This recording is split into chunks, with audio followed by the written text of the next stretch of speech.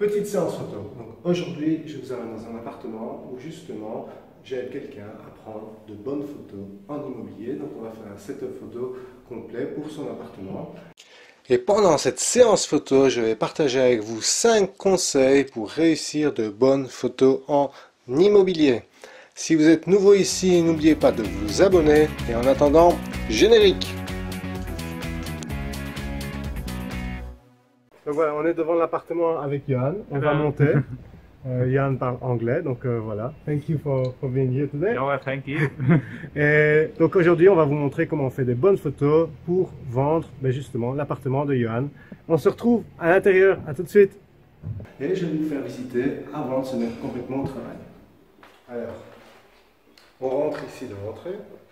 Donc première chose qu'il faudra faire, bien entendu, c'est ranger un petit peu l'entrée. Et ici, la pièce de vie, où tout est déjà nickel. Voilà. On a une belle pièce de vie, donc on a déjà rangé un tout petit peu. Par contre, petit problème, voilà, là il y a du rangement. Donc ça, clairement, c'est quelque chose qu'on ne peut pas se permettre en, photo. Quoi. Ça, ça n'ira pas de faire des photos de cette pièce-ci telle qu'elle. Et idem, mon ami est en train de nettoyer la cuisine pour avoir une cuisine bien propre et nickel. Donc ici, on va rentrer dans la chambre. Vous voyez que la chambre, voilà, pas grand chose à faire, donc on, va pouvoir faire les photos. Salle de bain, encore une fois, petit mais propre. Et alors, ici, on a Rouen qui, euh, qui nous fait le nettoyage pour préparer l'appartement. Voilà. Allez, on va se mettre au travail et je vous retrouve après. Alors pendant que je me prépare et que je fais un mise au point pour mes premières photos, on va parler des conseils pour faire de bonnes photos en immobilier. Et si vous n'avez pas déjà deviné, le conseil numéro 1, c'est tout simplement le rangement. Peu importe la qualité de votre matériel, peu importe vos compétences de photographe, si vous faites une photo d'une pièce en désordre, ça donnera toujours moins envie qu'une photo d'une belle pièce rangée. Le deuxième conseil, tout simplement, c'est le trépied. Encore une fois, un conseil de base, mais super important. Le trépied en immobilier, ça vous permet de faire des photos géniales. D'ailleurs, si c'est un agent qui fait vos photos pour votre annonce et qu'il se pointe sans trépied, il y a de fortes chances que vous puissiez faire mieux que lui, même avec un smartphone et un trépied. Enfin, maintenant, le troisième conseil, quand vous vous préparez à faire des photos, regardez bien où j'ai mis mon appareil photo. Je mets mon appareil photo plus ou moins à 1m20, 1m30 du sol. En gros, essayez de placer votre appareil photo à la moitié de la hauteur de la pièce pour faire de très belles photos sans distorsion. Avant de continuer avec les conseils, on va d'abord voir ce que ça donne. Alors ici, vous avez la vue avec le téléphone à hauteur d'homme. Donc vous voyez un peu ce que ça donne. Et maintenant, la vue avec de la photo faite avec l'appareil. Donc là tout de suite on a quelque chose d'un peu plus lumineux tout simplement parce que grâce au trépied je peux utiliser des temps d'exposition beaucoup plus longs. Donc vous voyez ça donne très très bien. Et j'en profite pour vous demander un petit pouce bleu pour m'encourager. N'hésitez pas à prendre plusieurs photos en bougeant un tout petit peu l'appareil pour avoir différents angles de vue. Mais aussi, surtout, là on va repasser au conseil numéro 4. Pensez à prendre plusieurs photos avec des expositions différentes. Tout simplement parce que grâce à ça, vous pourrez ensuite choisir soit la photo qui a la lumière qui vous convient le mieux pour l'annonce. Généralement, sur Internet, on a besoin d'annonces très lumineuses pour attirer l'œil.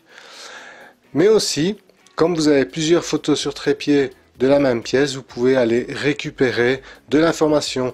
Par exemple, ici, j'ai été récupérer la fenêtre qui est brûlée dans les photos plus lumineuses. Là, je l'ai fait à la main. Vous pouvez aussi utiliser un software qui fait de l'HDR pour aller combiner une photo plus sombre avec une photo plus claire et récupérer toutes les informations. Maintenant, on va parler du conseil numéro 5. C'est aussi un conseil lié à la lumière. Faites des photos avec différentes luminosités.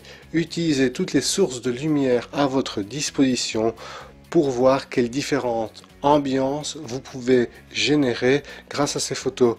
Donc par exemple ici, la chambre de sa fille, ben voilà, avec les rideaux roses tirés, on a vraiment une ambiance beaucoup plus féminine.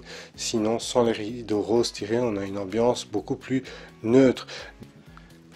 Et encore une fois, la même chose dans la cuisine. Regardez la différence entre la photo de gauche avec les néons allumés, c'est un, un peu plus jaune, et la photo de droite uniquement prise avec la lumière extérieure.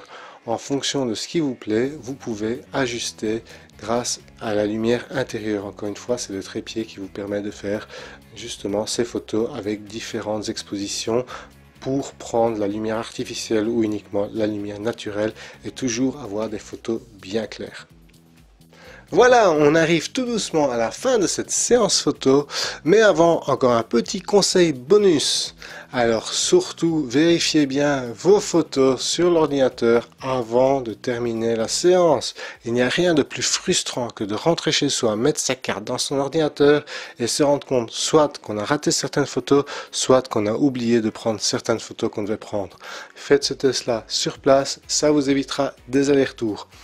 Avant de laisser le mot de la fin à Johan, je vais vous demander s'il vous plaît, si cette vidéo vous a plu, partagez-la, ça va vraiment aider mon référencement. Merci à vous. Maintenant, à Johan pour le mot de la fin. Voilà, donc maintenant on est au café, tranquillement, on a fait du travail. So, Juan, how did you like it?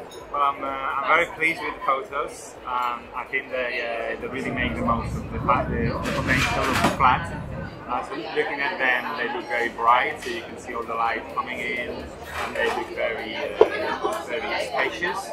So I think uh, it really like invites people to, to want to come and see the place and see it in reality. So really. So I'm hoping to get lots of lots of phone calls uh, the next week. And, uh, Okay, thank you, Juan. Thank you. See you guys.